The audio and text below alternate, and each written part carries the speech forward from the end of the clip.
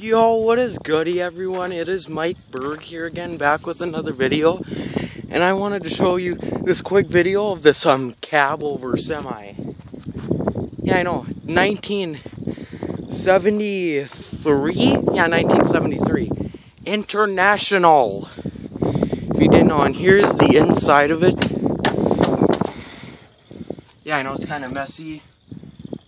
Yeah, but I've seen these semis like all over the place. They still make them. They've been making them since 1957.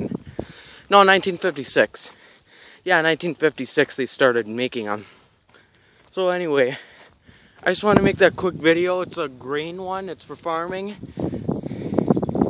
And so that's what I wanted to show you for today. So peace out, Mike Bergh out. Bye. Just kidding, I'm not gonna end the video there. I just wanted to make another thing.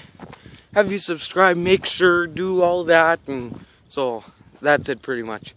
Peace out, Mike Bergh out, bye.